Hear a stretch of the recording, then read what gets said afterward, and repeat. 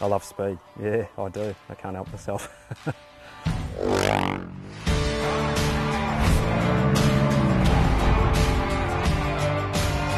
Anything that you can go fast on sort of been my life since I was a kid and really sort of got a buzz from being on the edge.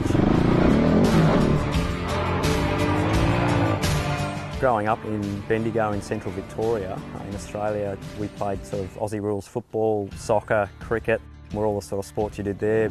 But yeah, I sort of was into my bike riding and raced BMX for quite a few years and then got into motorbike riding and, and ultimately raced motocross for quite a few years as well. But sailing for me was always one of the sports that I did and I, I really enjoyed it.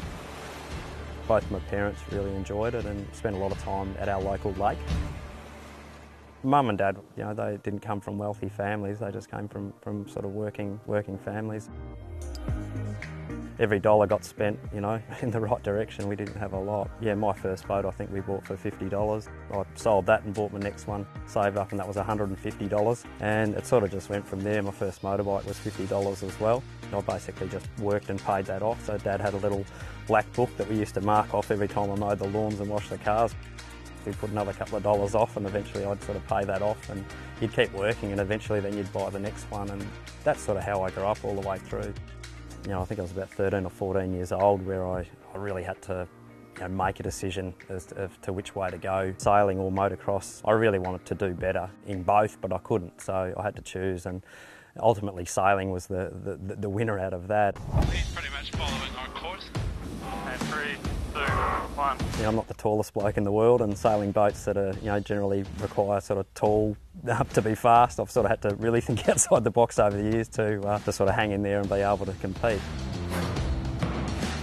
I think that's probably what's been one of the drivers as well as you know being told when you were sort of growing up that you were too short for this and you were too short for that and you know too small for a lot of sports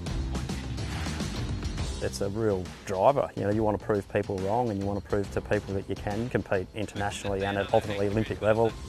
You know, you put the hard yards in and that really stokes the fire in the belly to get out there and actually beat some of those bigger guys. You know, I think that's something that's definitely driven me and certainly pushed the performance side of things with myself a lot and I really enjoy pushing the limits and the boundaries of what's achievable and that feeling of being on the edge and just in control, whether you're on a bike or in a car or on the boat, you know, really ticks a lot of boxes for me. Ashby. it's been a lot of fun and um, you know, you can't win them all, but you can win most if you try hard.